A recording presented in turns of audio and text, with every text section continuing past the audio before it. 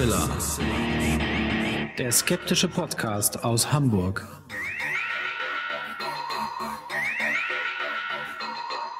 Hallo und herzlich willkommen zum 96. Mal bei Hoaxilla, dem skeptischen Podcast aus Hamburg. Wie immer mit der wunderbaren Hoax Mistress Alexa. Ja, mir ist warm. Hi. Ja, und Alexander, dem auch warm ist, weil es ist auch einfach voll warm. Vermutlich, so kündigt jedenfalls die Presse an, der heißeste Tag des Jahres. Heute? Ja, haben sie gesagt. Wir nehmen nämlich heute tatsächlich auf den Sonntag auch auf. Sag bloß. Insofern äh, könnte es sehr, sehr warm sein.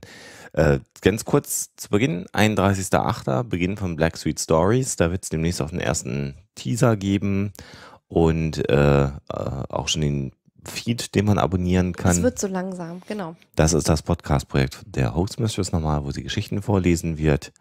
Und ähm, zum Weiteren, äh, 11. September, halten wir einen Vortrag ähm, im Rahmen von Skeptics in the Pub. Da kann man uns besuchen hier in Hamburg. Auch da nochmal werden wir einen Link setzen, äh, wo das alles stattfinden wird.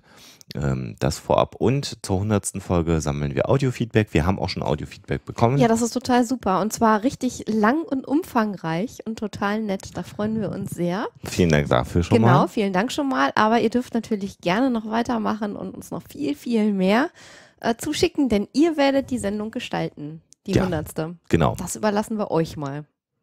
Und ansonsten müssen wir auch noch was machen, aber naja, also das äh, nochmal der Aufruf zur 100. Folge. Schickt uns irgendwas ein, kurze Statements, äh, so ähnlich wie iTunes-Rezensionen oder so.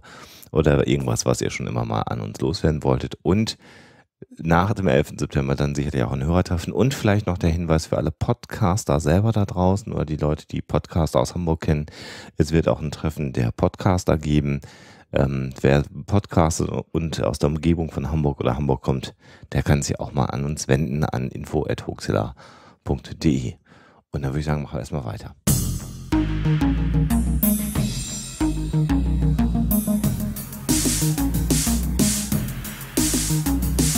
Story der Woche. Die Story der Woche ist diesmal sowohl künstlerisch als auch ein bisschen katholisch angehaucht, ganz passend zum Thema der Woche, auf das wir gleich kommen werden. Es geht um eine 40 ähm, Mitglieder zählende Gruppe eines katholischen Frauenbundes. Die waren einmal auf Theaterfahrt. Die waren dort ähm, mit dem Bus unterwegs und leider ist der Bus unterwegs liegen geblieben, als sie schon kurz vor dem Ziel waren und der Busfahrer, nachdem er versucht hat, den Wagen wieder flott zu kriegen, äh, hat dann gesagt, nee, liebe Leute, ihr müsst leider zu Fuß weitergehen. Das haben die Damen dann auch gemacht und sind mit circa 15-minütiger Verspätung dann doch noch im Theater angekommen. Und die Platzanweiser haben sie gebeten, die Plätze möglichst leise einzunehmen, wie das halt so ist. Dummerweise hat gerade der Hauptdarsteller getreu seinem Text auf der Bühne verkündet, wo seid ihr Lieben denn so lange geblieben? Und daraufhin soll eine Dame aus diesem Frauenbund gesagt haben, ja, wir wären auch schon viel früher da gewesen, wenn der Bus nicht liegen geblieben wäre. Und das ganze Publikum soll vor Lachen am Boden gelegen haben. Ich weiß allerdings nicht, ob die danach noch vernünftig weiterspielen konnten, aber das sind ja Profis da auf der Bühne, werden sie wohl. Das ist ja schöne Geschichte. Ja, ne? Was daran ist, erfahren wir natürlich wie immer am Ende der Sendung und kommen jetzt zu, hier sagen wir mal schon fast einem historischen Krimi, so könnte man es überschwitzt Oh, darstellen. ja, Ne? Ja, warum hat Dan Brown da eigentlich noch nichts drüber geschrieben? Vielleicht ist der gerade dabei. Wahrscheinlich. Na, machen wir jetzt mal weiter.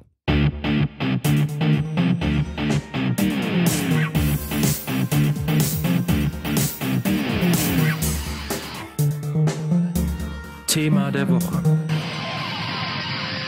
Ja, das heutige Thema ist das Sindone di Torino oder Sacra Sindone. Ja, merkt man, italienische Kenntnisse sind perfekt. Nämlich Ja, das äh, schön. Turiner Grabtuch. Darum soll es heute gehen. Das Turiner Grabtuch werdet ihr sicherlich äh, hoffentlich kennen oder auch nicht kennen. Wir wollen das mal ein bisschen in der Tiefe betrachten. Es ist ein Stück Leinentuch zunächst mal, um es erstmal formal zu beschreiben, was äh, 4,36 Meter lang und 1,10 Meter breit ist. Und auf diesem Tuch, auf diesem Leinentuch kann man einen Körper, die Vorder- und Rückseite eines Körpers äh, erkennen. Und ähm, wenn man das im Negativ fotografiert oder es fotografiert und sich dann das Negativtafeln ankommt, wird also der Umriss dieser Person auf dem Mhm. Tuch, diese Abbildung ähm, sehr deutlich zu erkennen. Ein paar weitere Details sind, ähm, also das Ganze ist so aufgebaut, dass man den Körper auf eine Seite des Tuchs gelegt hat, ähm, quasi bis zum Saum und dann mit der anderen äh, Seite des Tuches oder mit der anderen Hälfte des Tuches den Körper von oben abgedeckt hat. Mhm. Deswegen auch Vorder- und Rückseite auf dem Tuch, Mhm. die sich quasi so einander gegenüber liegen. Und ähm, was auch noch zu sehen ist auf dem Tuch, sind Blutflecken an sehr ähm, auffälligen Stellen, äh, quasi am Kopf, äh, an den Händen, die gefaltet sind und an den Füßen.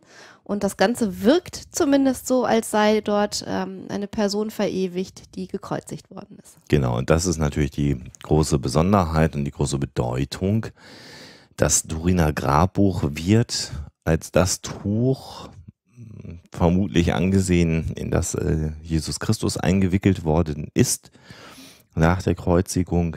Ähm, wichtig dabei ist zu erwähnen, dass die Kirche das nicht behauptet. Mhm. Es wird allerdings natürlich in einer Turiner Kirche äh, oder im Turiner Dom aufbewahrt. Sagen wir mal so, also die Kirche behauptet nicht aktiv, dass es sich um eine Reliquie beziehungsweise die Reliquie und das Grabtuch Christi handelt, aber wird natürlich auch nicht jemanden, der versucht, genau das zu belegen, irgendwie Steine in den Weg legen. Ja, sie behaupten natürlich auch nicht, dass es das nicht ist. So ist's. wie so oft äh, bei der Bibel und äh, überlässt dann sozusagen den Gläubigen, äh, dass sie selber ihren, ihren Schluss sich ziehen sollen.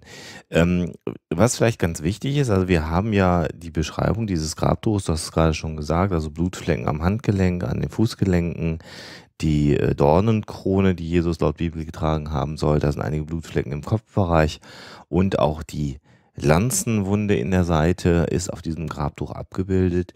Und äh, es wird ganz oft, äh, wenn man so sich Dokumentationen anschaut oder wenn man äh, ja durch die durchs Internet durchsurft und danach sucht, ist ja so dargestellt, als ob die Beschreibung dieses Grabtuches exakt so in der Bibel gewesen ist.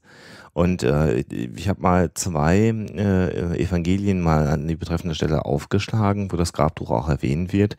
Ähm, das eine ist äh, Lukas ähm, 24, Verse 1 bis 12. Und dann hört man mal, wie genau das Grabtuch dann äh, in der Bibel beschrieben wird oder auch nicht. Ich lese das mal gerade vor aus der Bibel. Ganz früh am Sonntagmorgen gingen die Frauen mit den Salben, die sie zubereitet hatten, zum Grab. Der Stein, mit dem man es verschlossen hatte, war zur Seite gerollt. Zögernd betraten sie die Grabhöhle. Sie war leer. Verwirrt überlegten sie, was sie jetzt tun sollten. Da traten zwei Männer in glänzend weißen Kleidern zu ihnen. Die Frauen erschraken und wagten nicht, die beiden anzusehen. Warum sucht ihr den Lebenden bei den Toten? wurden sie von den Männern gefragt. Er ist nicht hier, er ist auferstanden. Habt ihr vergessen, was er euch in Galiläa gesagt hat? Der Menschensohn muss den Gottlosen ausgeliefert werden. Sie werden ihn kreuzigen, aber am dritten Tag wird er von den Toten auferstehen. Da erinnerten sich die Frauen an diese Worte Jesu. So schnell sie konnten, liefen sie in die Stadt zurück, um den elf Jüngern und den anderen Freunden Jesu zu berichten, was sie erlebt hatten. Zu den Frauen gehörten Maria aus Magdalena, Johanna und Maria, die Mutter von Jakobus. Aber den Jüngern erschien das alles so unwahrscheinlich, dass sie den Frauen nicht glaubten. Nur Petrus sprang auf und lief zum Grab. Als er hineinschaute, fand er außer den Leinentüchern nichts. Nachdenklich ging er in die Stadt zurück. Da sind also Leinentücher im Lukas ähm, Evangelium und dann gucken wir uns nochmal den Johannes an, Kapitel 20 und da auch so die Verse 1 bis 10, der also dann auch den gleichen Sachverhalt beschreibt. Am ersten Tag der Woche kommt Maria Magdalena früh, da es noch finster war, zum Grabe und sieht, dass der Stein vom Grabe hinweg war. Da läuft sie und kommt zu Simon Petrus und zu den anderen Jüngern, welchen Jesus lieb hatte, und spricht zu ihnen, Sie haben den Herrn weggenommen aus dem Grabe, und wir wissen nicht, wo sie ihn hingeleget haben. Da ging Petrus und der andere Jünger hinaus zum Grabe. Es liefen aber die zwei miteinander, und der andere Jünger lief zuvor, schneller denn Petrus, und kam am ersten zum Grabe, guckt hinein und sieht die Leinen gelegt. Er ging aber nicht hinein. Da kam Simon Petrus ihm nach und ging hinein in das Grab und sieht die Leinen gelegt und das Schweißtuch, das Jesus um das Haupt gebunden war, nicht zu den Leinen gelegt, sondern beiseits. zusammengewickelt an einem besonderen Ort. Da ging auch der andere Jünger hinein, der am ersten zum Grabe kam, und er sah und glaubte es, denn sie wussten die Schrift noch nicht, dass er von den Toten auferstehen müsste. Da gingen die Jünger wieder heim. Also bei dem einen ist es Leinen, ähm, äh, wird nur erwähnt, und ein, ein Schweißtuch, was dort gelegen haben soll. Und man merkt da auch an der Stelle schon mal sehr, sehr schön, das ist nämlich auch ein Hintergrund, warum ich diese beiden Stellen mal rausgesucht habe, wie unterschiedlich doch die Beschreibungen sind in der Bibel und wie schwierig es da ist, die, die Bibel als Quelle für faktische Dinge zu nehmen. Denn äh, in der ersten Geschichte sind es mehrere Frauen, die zum Grabe kommen. In der zweiten ist es nur Maria Magdalena. Äh, dann geht nur Petrus alleine zum Grab. In der zweiten Geschichte kommt ein weiterer Jünger mit und läuft mit äh, Petrus zum Grab. Und das zeigt schon, wie unterschiedlich auch die Darstellung der Geschichten ist. Und es zeigt, wie wenig eigentlich dieses berühmte Grabtuch beschrieben wird in der Bibel. Ja, das äh, könnte man jetzt natürlich auch als Argument dafür nehmen, ähm, wenn man es dann aus der Bibel nicht genau erkennen kann und ansonsten auch nicht genau weiß. Äh, vielleicht ist es dann das Grabtuch Christi. Ähm, was ist denn dann das Besondere daran, dass man da ähm, quasi den ganzen Körper sehen kann? Ähm, und der große Punkt ist, der auch von den Gläubigen so akzeptiert wird, ähm, ist, dass dieser Abdruck, der kommt ja nicht von ungefähr auf das Tuch, weil Jesus meinetwegen angemalt war, als er darauf gelegt wurde, mhm. äh, sondern bei der Auferstehung soll sich äh, dieses Bildnis ja quasi in den Stoff eingebrannt haben. Mhm. Das ist also noch eine Besonderheit, die dieses Tuch äh, aufweist. Und in der Tat ist es sehr, sehr ähm, schwer, quasi mit normalen Mitteln ähm, festzustellen, ob es sich äh, um ein Bild handelt, was wirklich auf dieses Tuch draufgemalt worden ist. Also du siehst keine Pinselstriche, du kannst nicht genau erkennen, wie der Künstler, wenn es denn ein Künstler gewesen ist, das Bild aufgebracht hat. Und das hat viele ähm, davon überzeugt, dass also mit diesem Tuch etwas ganz Besonderes passiert sein müsse. Ähm, äh, wir können ja noch mal kurz so ein paar Fakten ähm, wiedergeben aus der Geschichte des Tuches. Mhm. Das Ganze wird nicht erwähnt, merkwürdigerweise bis zur Mitte des 14. Jahrhunderts. Mhm. Da taucht dann ein Ritter auf, äh, der dieses Grabtuch ähm, ja quasi in, seinen, in seinem Besitz hat und ähm, eine Kirche bauen möchte für dieses Grabtuch. Und äh, dann geht also diese ganze Geschichte los. Das äh, Grabtuch reist von Liray nach äh, Chambéry ähm, und ganz, kommt dann. Ganz wichtig, es war erstmal in Frankreich. Es war erstmal in, in Frankreich, genau. Bis es dann, ähm, nachdem es durch einen Brand in Chambéry 1532 auch teilweise zerstört worden ist, deswegen sieht man auch diese charakteristischen Brandlöcher heute auf den Darstellungen, mhm. äh, bis es dann schließlich in Turin ankommt. Und äh, ein ganz wichtiger Punkt ist eben, dass es kaum oder keine Erwähnung gibt vor der Mitte des 14. Jahrhunderts. Das ist also schon mal eine ganz merkwürdige Geschichte, denn wenn es wirklich das Grabtuch Christi wäre, warum gibt es dann nicht für die heilige Reliquie äh, ja eine durchgehende dokumentierte Geschichte. Mhm. Das ist also ein, ein ganz wichtiger Punkt, warum man vielleicht daran ähm, schon mal ein bisschen rütteln sollte. Äh, ein weiterer wichtiger Punkt ist, ähm, es haben viele Leute quasi das Grabtuch gesehen in Turin. Es war auch öfter mal den Gläubigen zugänglich, aber so ganz ähm, in den Fokus der Aufmerksamkeit gerückt äh, ist es nicht, bis es 1898 zum ersten Mal fotografiert ja. werden konnte. Mhm. Das war nämlich ähm, der Moment, wo man dieses ja sehr blasse, kaum sichtbare Bild auf dem Grabtuch, also wenn man das jetzt so sehen würde, irgendwo ausgestellt, dann, dann würde man zwar die Brandlöcher sehr deutlich sehen, aber nicht das Bild äh, des Herrn, wenn es das dann ist. Äh, das kann man kaum erkennen. Aber wenn man das Ganze fotografiert, und das war eben 1898 zum ersten Mal in der Form möglich und geschehen, dann sieht man plötzlich, dass das Bild ähm, vor allen Dingen im Negativ besonders deutlich wird. Ja, und das ist natürlich eine Sache, da haben dann viele ja, also es ist ja tatsächlich dann fotografiert worden und der Fotograf ist dann in sein äh, Entwicklungslabor gegangen und als er das Negativ vom Bild gesehen hat, da hat es ihn quasi wie ein, ein, ein Blitz getroffen. Äh, und äh, für ihn war klar, es ist nicht möglich gewesen im Mittelalter oder äh, geschweige denn um die Jahrtausendwende, also um das Jahr 33 herum, ne? also nicht Jahr Null, sondern 33 war er dann ja schon der Herr und Meister, als er ans Kreuz geschlagen wurde. ähm, da gab es halt noch keine Fotografie und da hatte man auch noch keine Vorstellung von einem Negativ. Und auch selbst wenn es eine mittelalterliche Fälschung gewesen sein sollte, auch da wusste niemand, was ein Negativ ist. Mhm.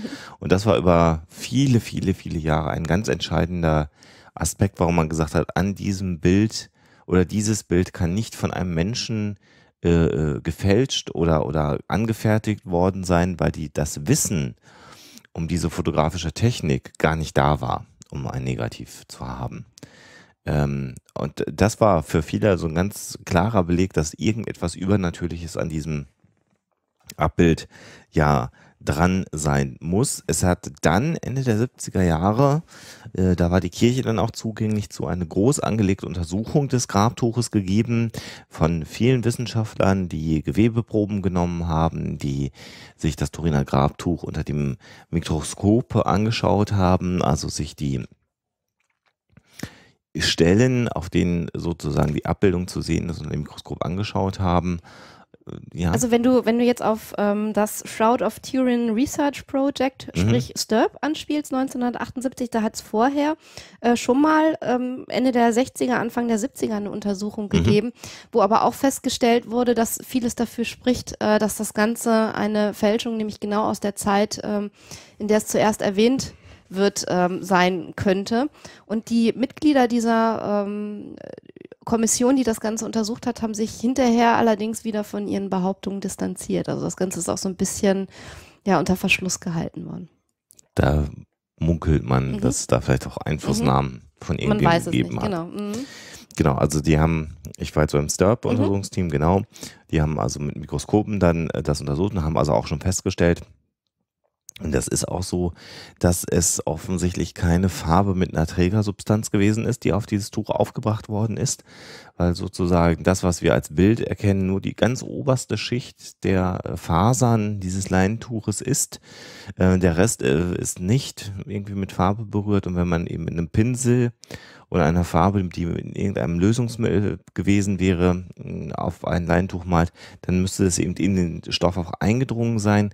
Die, das Bildnis ist aber nur auf der Oberfläche. Also wirklich mhm. nur die obersten Fasern äh, tragen eben dieses Abbild. Und, und das war auch ähm, nicht ähm, irgendwie rote Farbe, also man hat ja viel Ocker verwendet auch in der Zeit. Also es ist auch keine rote Farbe, sondern es ist einfach so eine leichte gelbliche Verfärbung, mhm. die man dann auf den obersten Fasern sehen würde also das war ein ganz entscheidender Punkt. Mhm. Ähm, da hat man gesagt, das kann man auch gar nicht fälschen. Das konnten die im Mittelalter auch gar nicht fälschen. Vollkommen unmöglich.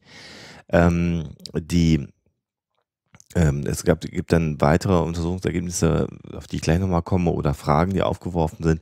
Was ganz entscheidend allerdings war, bei allen Rätseln, die aufgegeben worden sind, äh, ist zunächst mal, äh, an der Stelle sollte man es erwähnen, die Webart des Leinentuches. Das ist nämlich in so einem Fischgrätgewebe äh, gewebt worden und das gibt es eben nicht im, äh, zur Zeit äh, Palästinas, wo Jesus Christus gekreuzigt werden sollte. Diese Art des äh, Webens eines Leinenstoffes ist halt viel, viel älter, passt auch wieder in die Zeit der ersten Erwähnung hinein des Grabtuches, aber das hat man auch nochmal gesehen, also diese Webart ist vorhanden. Das spricht also dafür, dass das Tuch deutlich älter ist, ähm, als ganz entscheidenden Faktor. Und was man dann eben getan hat, ist, man hat eine Radiokarbon Analyse mhm, genau. angefertigt. 1988 hat man dann mit Erlaubnis der katholischen Kirche ein paar wenige Proben genommen. Die sind vom äh, unteren Rand äh, natürlich weit weg vom Bildnis und von anderen essentiellen Teilen des Tuches genommen worden. Man hat die dann an verschiedene Labore geschickt und hat unabhängig diese Labore eben eine Radiokarbondatierung durchführen lassen und ähm, als Durchschnittswert ist tatsächlich rausgekommen Mitte des 14. Jahrhunderts, also ganz genau das, was im Prinzip die Wissenschaft schon erwartet hatte und ähm, wiederum genau die Zeit der ersten Erwähnung des Grabtuchs. Ja, also. Ähm, wir haben ähm, vorhin bei der ersten Erwähnung äh, vergessen zu sagen, dass schon damals eine Riesenkontroverse herrschte. Also da gab es äh, Briefe des Bischofs in Lirey an den Papst, so, ähm, mhm. dass das Grabtuch ähm, also eine offensichtliche Fälschung wäre und dass damit die Gläubigen über den Tisch gezogen werden, weil man ähm, durch fingierte Kranke, die dann angeblich von dem Tuch wieder geheilt wurden, äh, da den Leuten das Geld aus der Tasche ziehen würde und äh, gegen das Ganze war also nicht wirklich ein Kraut gewachsen. Ähm, man hatte dann auch den angeblichen Künstler ausfindig gemacht und dieser Künstler, der allerdings bis heute namenlos geblieben ist, was natürlich die ähm, Befürworter des Tuches ähm, auch schon wieder aufjuchzen lässt, äh, der hat angeblich dann, das heißt nicht angeblich, der hat dann sogar ein Geständnis abgelegt und hat gesagt, jawohl, äh, ich habe dieses Tuch hergestellt und damit war eigentlich der, der Fall erledigt. Ähm, und was man auch noch dazu sagen muss, ich weiß jetzt nicht, inwieweit ihr euch mit der Geschichte, vor allem der ähm, Religionsgeschichte im Mittelalter mal beschäftigt habt, aber der Reliquienhandel äh, blühte natürlich gerade zu der Zeit und eine Reliquie war nicht nur ein, ein politisches Machtmittel, sondern äh, natürlich auch gezielt dazu angetan, um die Gläubigen bei der Stange zu halten, also irgendwelche Wunder zu versprechen, ähm, man sagt immer wieder, es kursierte so viel ähm, Holz vom Heiligen Kreuz, dass man daraus ein Schiff hätte bauen können und so viele Nägel, dass man das Schiff äh, hätte zusammenzimmern können. Hm. Äh, es gab auch etliche Grabtücher, die allerdings alle wohl ziemlich schlecht gemacht waren und wo relativ schnell aufflog dass es äh, eben irgendwie eine Fälschung war. Und was eben bei diesem Grabtuch äh, besonders war, war eben diese, äh, wie es in den Quellen heißt, clevere oder, oder schlaue Maltechnik, in der das Ganze hergestellt ja. worden ist. Was äh, bei der ähm, Radiokarbonanalyse, das sollte man auch nochmal erwähnen, oft gesagt wird, ist, ja, das ist ja auch ausgebessert worden, mhm. das Tuch, und ihr habt eine Stelle erwischt. Genau, wo Tuch, ausgerechnet in so einem Flecken, also so ein Flicken saß. Mhm. Beziehungsweise die Radiokarbonanalyse ist vielleicht gar nicht so genau, wie ihr immer sagt. Also es ist an verschiedenen Laboren der Test durchgeführt worden äh, mit äh, Vergleichsmaterial, weil man tatsächlich auch Grabtücher aus dem ersten Jahrhundert hatte. Und äh, also alle drei Labore, alle drei großen Labore, die man befragt hat, kamen zu einem ähnlichen Ergebnis. Das ist schon sehr genau. Die haben sie natürlich nicht auf ein Jahr, sondern auf einen Zeitraum von, glaube ich, mhm. etwas mehr als 100, 100 Jahren Jahre festgelegt. Mhm. Ähm, äh, aber der Durchschnittswert, wenn man äh, den sich anschauen würde, würde schon in die Zeit Genau, aber, mhm. und es war also äh, immerhin das äh, also zweite Jahrtausend sozusagen, das angebrochene zweite Jahrtausend, ja. um das es um das es ging. Also sicherlich nicht das erste Jahrhundert. Ja. Ähm, was auch oft angeführt wird, ist, dass man angeblich auf dem ähm, Turiner Grabtuch Pollen gefunden hätte, die nun ausgerechnet äh, aus Jerusalem stammen müssen, also aus dem Nahen Osten und dass es auch von keiner anderen Stelle ähm, stammen könnte. Und da kommt ein äh, ja, Kriminologe, ein recht umstrittener ins Spiel, Max Frei. Darf, der, darf ich, darf ich? Darf ja, du, ja, gerne, gerne, wenn du gerne. Weil nämlich der Max Frei, damit man den genau. einordnen kann, der hat auch die Hitler-Tagebücher. Nur weil du Hitler sagen Der hat auch die Hitler-Tagebücher so für echt erklärt. Ja. Äh, ist damit ziemlich auf die Nase gefallen, und, bekanntermaßen. Und der fand die Pollen jetzt auch echt. Und ja, und das Ganze ist natürlich, ähm, also ähm, ist die Frage, also man hat das natürlich gemacht, indem man mit ähm, äh, Sticky Tape, wie sagt man hier, mit äh, Klebeband irgendwie da auf dem Stoff äh, rummanipuliert hat und das dann abgezogen hat und dann hattest du halt irgendwie eine Probe von den obersten Schichten. Ähm, bei den Proben von Max Frei ist halt wirklich die Frage, da sind ein paar dabei, die ähm, so gut sind und so ähm, klar äh, eben dafür sprechen, dass es schon wieder total unrealistisch ist, weil die Pollen, die da gefunden wurden, also so brandneu sind ähm, und so unversehrt, dass das ähm, total ähm, ja, überzogen wirkt und eigentlich gar nicht irgendwie mit dem Tuch zu tun hat. Der Verdacht liegt nahe, dass seine Proben, die er zum Vergleich genommen hat, vielleicht doch irgendwie mit aufs Tuch draufgerutscht sind oder so, das gleiche ja. Klebeband benutzt worden ist. Ein weiterer Punkt, der in vielen Dokumentationen als ge gegeben voraussetzt, wenn man also mal auf YouTube rumgoogelt oder im äh, Fernsehen rumsucht, und da laufen die ganz oft auf N24 oder sonst wo Turiner Grabtuch-Dokumentationen, dass auf dem Tuch Blut gefunden wird. Ja, ganz und das wird Punkt. ganz oft auch als Fakt dargestellt. Das ist sogar von Mitgliedern der STIRP-Gruppe ähm, behauptet worden, dass sie nicht nur Blut ähm, der Blutgruppe AB dort genau. festgestellt hätten, sondern auch Serumflecken ähm, und äh, kein Künstler sei in der Lage gewesen, auch noch Serumflecken, die erst sehr viel später mit technischen Mitteln sichtbar gemacht werden konnten, dort zu verstecken. Das sei totaler Quatsch, das zu tun.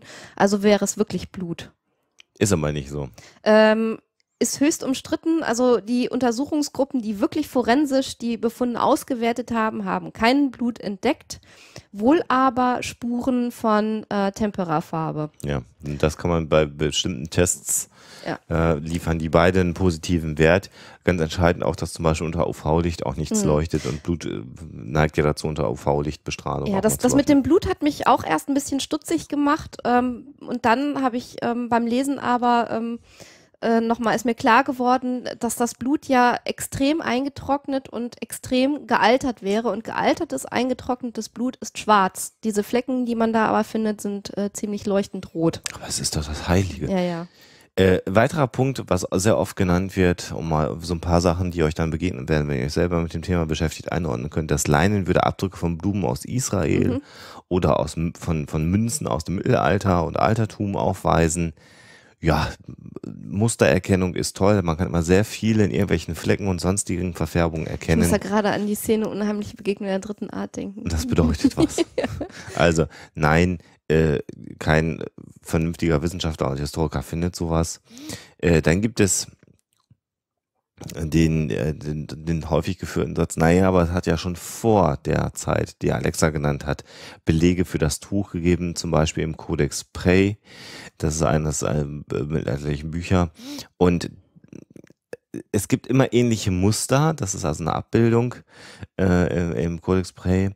Ähm, aber da ist es dann eher meist so, dass eher ein Sarg oder eine Kiste dargestellt wird, aus dem ein Tuch herausragt. Aber es ist nie wirklich eins zu eins das Turner Grabtuch, was Also, gezeigt wird. Also, dass es Darstellungen von Jesu Grablegung, der Auferstehung und irgendwelchen Grab- und Schweißtüchern gibt ähm, in der christlichen Ikonografie, wundert das wirklich irgendwen? Ja, also ja. mich irgendwie eher nicht. Ähm, es ist natürlich nicht das Turiner Grabtuch, was dann wirklich, so wie du gerade sagtest, erst in der Mitte des 14. Jahrhunderts auftaucht. Dann die Übereinstimmung des Tuches mit den Evangelien. Also da über die Verlässlichkeit der Evangelien haben wir vorhin schon gesprochen. Wichtig dabei nochmal zu wissen, die meisten Evangelien sind ja eben nicht 33 äh, äh, nach Christi äh, geschrieben worden, nach Christi Geburt, sondern viel, viel später. Das heißt also, dann hätten die, die die Evangelien, wenn die Beschreibung so gut gewesen wäre, das Tuch jetzt sehen müssen, um es gut zu beschreiben. Äh, Also da beißt sich die Katze so ein bisschen in, in, in den Schwanz und natürlich guckt einer, der etwas aus der Bibel fälschen möchte, wenn das sein Auftrag gewesen ist, auch mal in die Bibel rein, was er denn da so findet. Und wenn es dann eben die Leidensgeschichte von Jesu ist, mit dem Kreuzigung und derlei Dingen, dann würde er natürlich darauf auch äh, Bezug nehmen. Dass das äh, Tuch nicht das Werk eines Malers sein kann, haben wir gerade schon beschrieben. Trotz allem gibt es natürlich Mittel und Wege. Inzwischen hat es das Jetzt gegeben, das nachzumachen. Du, genau, jetzt sprichst du nämlich eine ganz interessante Frage an, die wir bisher ausgeklammert haben. Wenn das Ganze denn nun wirklich von einem Künstler hergestellt worden ist, ähm, man kann ja nicht leugnen, dass dieses Bild äh, ziemlich äh, interessante Eigenschaften besitzt. Äh, wie hat er das denn gemacht? Genau, also eine ganz interessante Eigenschaft die haben wir noch nicht erwähnt, das wollte ich jetzt nämlich noch mal gerade sagen. Dann können wir nämlich mal dann auf die, auf die Möglichkeiten der, der Replizierung äh, mal eingehen, nämlich die Tatsache, dass das Tuch nicht nur ein Negativbild hat, sondern was auch ganz spannend ist, das äh, Tuch hat äh, 3D-Eigenschaften. Mhm. Und das ist auch nochmal ganz spannend ähm, äh, zu beschreiben. Man kann nämlich die, die, die Farbwerte nehmen.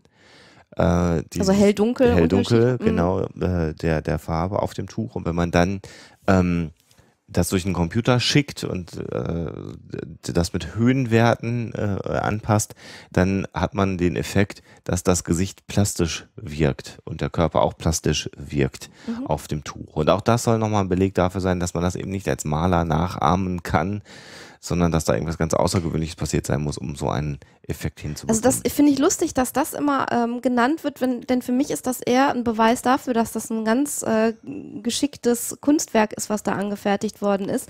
Denn ähm, wir kommen jetzt zu den langsam zu den ersten Versuchen, das Ganze nachzustellen.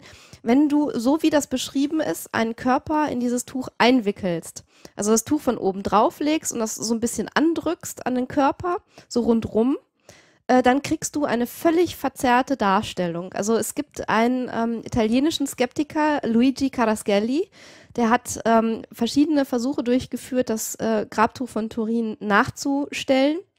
Und das war so sein erster Versuch. Also er hat einen Körper genommen, hat den mit Farbe bepinselt und hat das Tuch, äh, wie beschrieben, so darum gewickelt und darüber gelegt. Und äh, was dabei rausgekommen ist, äh, ist irgendwie so eine, so eine völlig abgefahrene, ähm, groteske Darstellung eines Menschen, denn man muss sich ja vorstellen, das, was äh, eigentlich 3D ist, also zum Beispiel so äh, Seite des Kopfes und Ohren und so weiter, ist dann plötzlich 2D und das Ganze sieht also wirklich, wenn man das mal auf Bildern sieht, vielleicht können wir die auch irgendwie verlinken, total bekloppt aus. Mhm, genau, das ist, also so funktioniert schon mal Nee. nicht. Und ähm, witzigerweise, ähm, die Eigenschaften des Bildes sind so, dass ist, also wenn man sich das mal anschaut, wirkt es sehr, sehr schmal. Also schmales Gesicht, ganz, ganz, ganz lange, schmale Gliedmaßen ähm, so dass manche Wissenschaftler, die also nun absolut pro äh, Turiner Grabtuch als Jesu äh, Grabtuch waren, gesagt haben, er muss halt ähm, entsprechende Gendefekte gehabt haben, die seinen Körper halt so ähm, lang und schmal, also seine Gliedmaßen so lang und schmal haben werden lassen. Also völlig abgefahren. Tja, das Entscheidende, um äh, jetzt weiterzuarbeiten am Turiner Grabtuch, ist natürlich die oder an der, an der Frage weiterzuarbeiten, ist das Turiner Grabtuch ein, eine reale Reliquie oder nicht? Unabhängig vom Alter ist natürlich die Frage, kann man mit Mitteln des, äh, des, des Mittelalters, also da, wo wir jetzt vermuten, dass es entstanden ist, also im 14. Jahrhundert, dieses Grabtuch nachmachen. Und tatsächlich gibt es jemanden, der da, du hast ihn ja schon genannt. Ich habe ihn aber falsch genannt, genau. Gardela Skelly schreibt sich. Das. Ja, der Luigi, der sagen wir genau. doch Luigi, hat sich also in seiner in seinem Geheimlabor, seine Batcave, wie er es nennt, mal zurückgezogen, hat einige Experimente gemacht. Und also der, der, ähm, Entschuldige, dass ich dich unterbreche, der macht sowieso viel, was ähm, ja so religiöse Wunder und ähm, Reliquien angeht. Der hat auch zum Beispiel ähm, ein, eine chemische Substanz gefunden, mit der er Stigmata nachstellen kann. Mhm. Hat also er experimentiert, experimentiert auch ganz gerne mal an sich selber. Also der kennt da irgendwie gar nichts. Der ist genau. relativ schmerzfrei da. War auch auf der sechsten Weltskeptikerkonferenz mhm. und hat dort einen Preis für sein Lebenswerk mhm. erhalten. Völlig zu Recht. Äh, also wenn wir gerade bei den Stigmata sind, die Flüssigkeit, mit der man das nachstellt, er hat es mhm. dann aus seiner Handgelenke aufgetragen Genau, und hat sich an einer Stelle ein bisschen, bisschen falsch berechnet und äh, dann Narben davon getragen, die ihn jetzt ständig daran erinnern. Genau, hat jetzt also eine kreuzförmige Narbe an dem Handgelenk. Ja. Ähm, ja. also insofern jemand, der da also mit hohem Einsatz äh, versucht, diesen Rätseln äh, auf, den, auf den Grund zu gehen. Und tatsächlich hat er über mehrere Versuchsreihen hinweg es hinbekommen, ähm, das Turiner Grabtuch nachzubilden und zwar in einer erstaunlich guten Qualität zunächst einmal. Er hat es geschafft, dass also die äh, ja, Verfärbungen nur auf der Oberfläche des Leinentuches sind und verschiedene andere Aspekte des Grabtuches hat er eben auch äh, abgebildet. Ähm, und das ist natürlich sicherlich einer der Belege dafür, dass man ähm, so ein äh, Grabtuch oder so eine Abbildung fälschen konnte. Die Frage nach dem Gesicht, du hast die Verzerrung ähm, ähm ja, beschrieben, die passiert, wenn sie also tatsächlich einen mhm. Kopf, so wie er ist, in so einem Tuch abbilden würde, dann sieht er eben nicht aus wie so ein Kopf. Da ist die Antwort ein, ein Barrelief oder ein sogenanntes Flachrelief. Mhm. Äh, das ist so das, was man vielleicht von einer Münze kennt. Also wenn man eine Münze nimmt und das Papier drauflegt und dann mit einem Bleistift drüber rubbelt, dann kriegt man auch so eine Abbildung, die so quasi 3D-mäßig auf dem Papier aussieht. Ähm, es gibt eben Gesichtsreliefe, die auch eher flach sind mhm. äh, und dann so eine Anmutung aber haben wie eine Abbildung. Genau so etwas wird man benutzt haben um diesen angeblichen Kopf und das Gesicht von Jesus Christus auf dieses Tuch zu bekommen. Und Gardler Skelly hat damit auch gearbeitet und hat das auch genau so dann hinbekommen. Ja, also er hat das gemacht, dann hat er ähm, quasi die, äh, die Technik verfeinert. Er hat angeschaut, wie muss das Ganze denn ja abgepaust werden. Also das ist, erstmal benutzt man wirklich pulverförmige ähm, Farbe. Okay, in dem Fall. Äh, genau. Und ähm, nicht nur, dass man das dann irgendwie abpaust oder so, dann hat man immer noch ähm, zu viel Farbe. Aber man muss ja auch mit einberechnen, dass das äh, Tuch wirklich, also zumindest ja schon ein paar Jahrhunderte gealtert ist, selbst wenn es halt nur aus der Mitte des 14. Jahrhunderts stammt. Und auch mit diesem Alterungsprozess hat er herumexperimentiert. Also er hat festgestellt, dass das, was wir sehen, nur noch so die ausgewaschene Form dieser Farbe ist. Also von der eigentlichen Farbe, von dieser pulverförmigen Substanz ist halt nichts mehr übrig, sondern nur das, was sich ähm, durch ja ähm, eine, eine chemische Reaktion des Stoffes ähm, mit der Farbe und ähm, Einsatz ätzender Flüssigkeiten hat er, glaube ich, auch noch mit experimentiert, ähm, erhalten hat in den obersten Stoffschichten. Das ist das, was wir heute sehen. Also gar nicht mehr die eigentliche Farbe, sondern nur noch das, was übrig geblieben ist. Wir werden im Forum, also immer im, Nachgang zum Real Life, wird das ja mal alles freigeschaltet, äh, auf alle Fälle seinen Vortrag vom Denkfest in mhm. Zürich aus dem letzten Jahr mal zeigen. Ja, da sieht man das auch alles wunderschön, äh, weil er nämlich die ganzen Tücher dabei hat, die er so genau, geschaffen hat. Genau, das ist so eine gute Stunde der Vortrag, der dort gefilmt ist. Da lernt man also ganz genau, wie er das Turiner Grabbuch hergestellt hat. Das könnt ihr euch dann selber anschauen. Sehr schöner, sehr anschaulicher Vortrag. Aber das ist sicherlich einer der Belege dafür, dass man das Grabtuch ähm, nachmachen kann. Und dass es auch bereits im 14. Jahrhundert Künstler gab, die das machen konnten. Was ich witzig finde, was wir noch ansprechen sollten, ist, dass selbst auf Seiten derjenigen, die äh, davon überzeugt sind, dass es sich bei dem Turiner Grabtuch um ein Kunstwerk handelt, so etwas wie, ja sagen wir mal so, Verschwörungstheorien gibt mhm. oder Theorien, die sich einfach ähm, mit den Mitteln, die uns zur Verfügung stehen, nicht belegen lassen, für die es einfach nicht genug äh, Dokumentationen gibt. Es gibt äh, ein ähm, meine britisches ähm, Forscherpaar, äh, die behaupten, dass das Turiner Grabtuch von keinem anderen als Leonardo da Vinci geschaffen wurde. Ähm, ich hatte mich äh, im Vorfeld ähm, nicht allzu sehr mit dem Thema beschäftigt, äh, aber das spukte mir immer so im Hinterkopf rum. Das muss ich irgendwann mal gehört haben. Das ist irgendwie hängen geblieben bei mir. Äh, Leonardo da Vinci, der von 1452 bis 1519 lebte, meine ich, ähm, soll also dieses Tuch geschaffen haben. Ähm, er soll nicht nur äh, diese völlig abgefahrene Technik benutzt haben, äh, indem er da ähm, quasi mit frühen Formen der Fotografie experimentiert hat, ähm, sondern er soll auch sein eigenes Abbild äh, dort festgehalten haben und sich ins Fäustchen gelacht haben, weil also nun die Gläubigen in aller Welt irgendwie sein Antlitz als das von Jesus Christus verehren. Äh, das ist eine lustige Theorie und ähm, also wir hatten nicht erwähnt, genau, dass das Turiner Grabtuch lange Zeit bis äh, ins 20. Jahrhundert hinein ähm, bei den äh, Herzogen von Savoyen ähm, im Besitz war. Bei denen war auch Leonardo da Vinci ein gern gesehener Gast. Äh, es wäre also theoretisch möglich gewesen, dass er von denen mal eine Auftragsarbeit ähm, erhalten hätte. Aber ähm, das große Problem, was man dann hat, ist, dass das Ganze mindestens 100 Jahre ähm, später hätte stattfinden müssen. Also nicht in der Mitte des 14., sondern eher gegen Ende des 15. Jahrhunderts. Und da spricht die Radiokarbon-Datierung natürlich dagegen. Da spricht sie dagegen. Ähm, leider wird sie ja von vielen auch angezweifelt. Aber äh, ich halte das Ganze für nicht wirklich plausibel. Es gibt dann irgendwie noch die Theorie, dass es erst ein anderes Tuch war und das wurde dann später gegen ein viel besser gemachtes. Also dieses, dieses Tuch, äh, was von vornherein irgendwie schon damals von den Leuten als Fälschung beschrieben wurde, sei dann hinterher ausgetauscht worden gegen das von Leonardo, äh, das viel besser gemacht war und dann sei eben die mehr vom Turiner Grabtuch entstanden. Aber das ist natürlich auch viel Spekulation.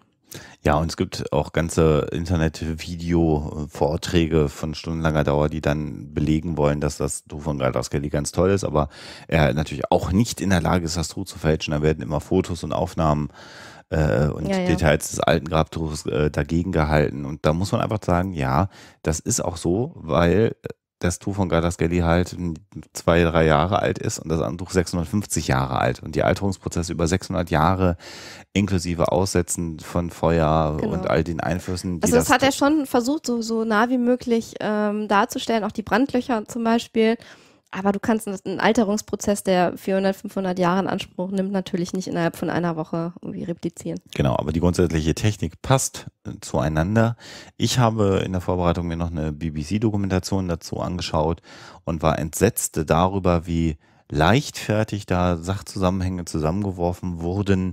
Äh, es wurde das sogenannte Sindarium äh, da noch ins Spiel gebracht, also ein Tuch, das ist äh, in Ecuador wird das aufbewahrt äh, und in dieses Tuch soll Jesus äh, Kopf eingewickelt worden sein.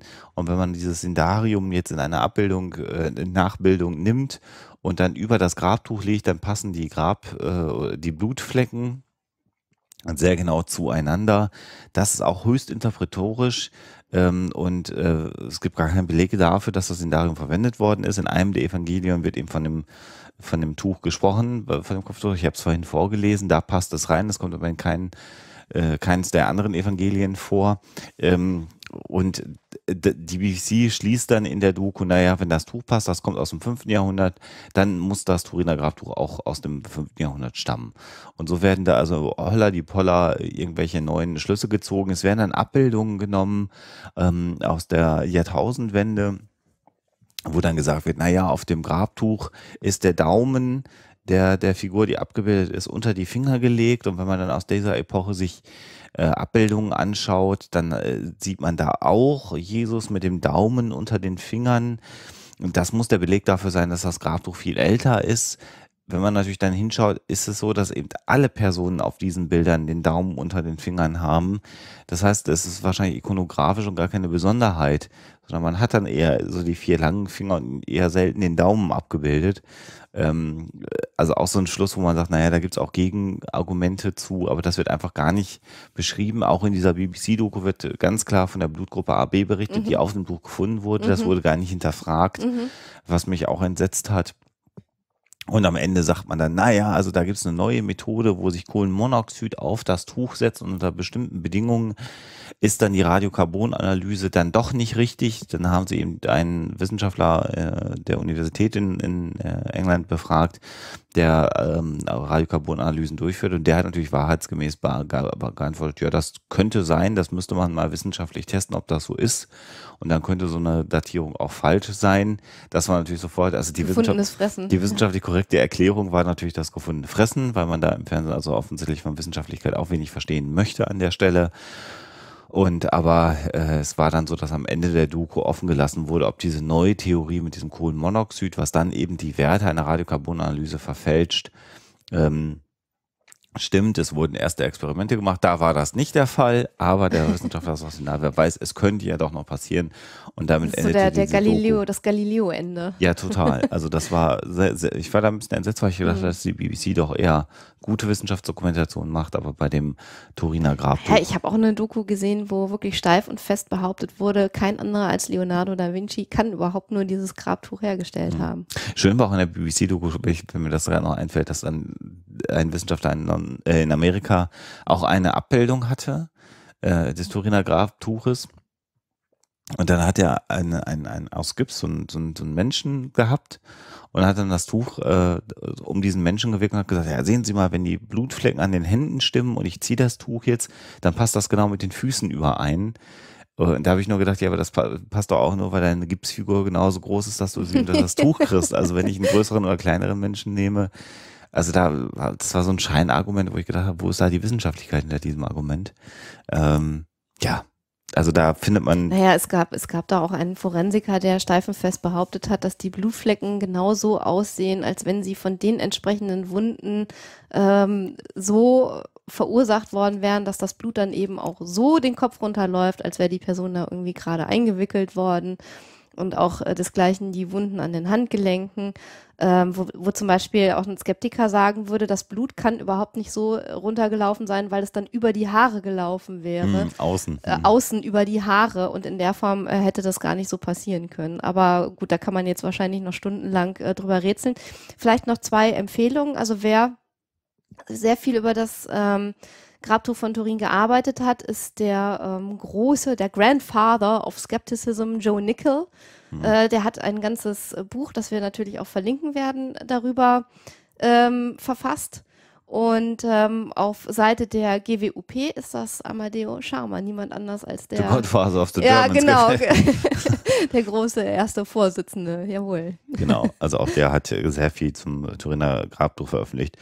Und da gibt es so sechs, sieben sehr kurz gefasste, sehr schöne, kompakte Artikel auf Seiten der, der GWUP, ähm, die einem da auch nochmal einen guten Überblick geben.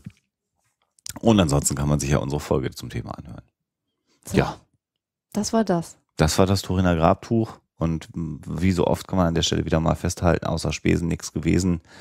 Und mit aller Wahrscheinlichkeit Aber Ich finde das schon interessant, wie das gemacht worden ist. Ja, das wollte ich jetzt nämlich auch nochmal gerade sagen. Es ist also mit aller Wahrscheinlichkeit nicht äh, das Grabtuch, in dem äh, unter Umständen Jesus Christus Wie immer macht eingewickelt es worden aber nicht weniger interessant. Aber es ist ein super Kunstwerk und Mhm. es ist also schon mit, mit sehr viel Aufwand gemacht worden. Und wenn man heute schaut, dass also Wissenschaftler da Jahrzehnte brauchen, um überhaupt eine Abbildung zu haben, die dem nahe kommt, das zeigt nochmal, wie kunstfertig doch das Mittelalter gewesen ist und dass man das auf keinen Fall unterschätzen darf. Mhm. So, und jetzt will ich nochmal wissen, was es mit dem Theater auf sich hat. ja. Die Auflösung. Ja,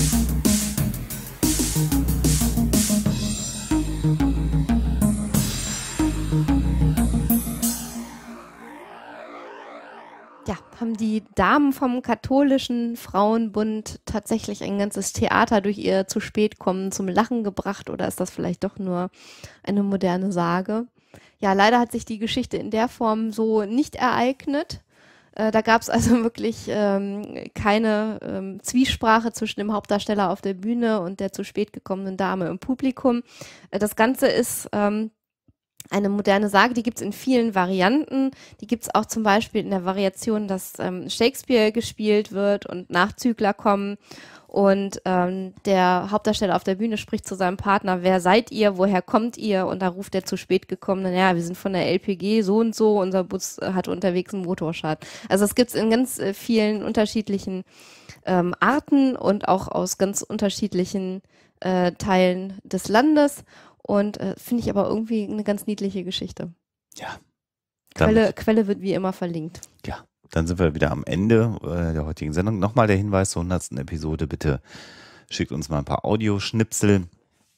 Und darüber hinaus nochmal vielen Dank. Es kommen jetzt über im Moment wieder ganz viele äh, ja, äh, Storyvorschläge, Ideenvorschläge, mhm. Themenvorschläge, die an uns heran.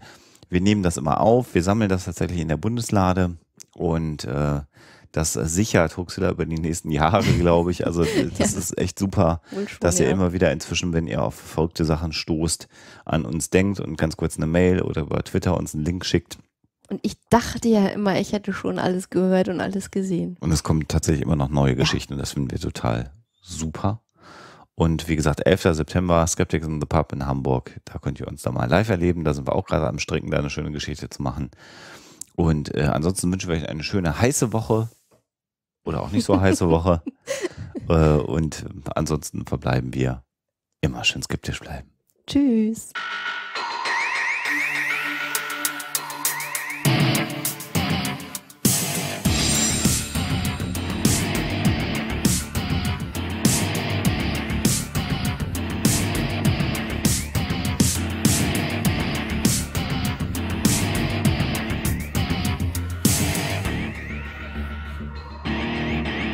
Schickt Fragen, Anmerkungen oder Feedback an info@huxilla.de.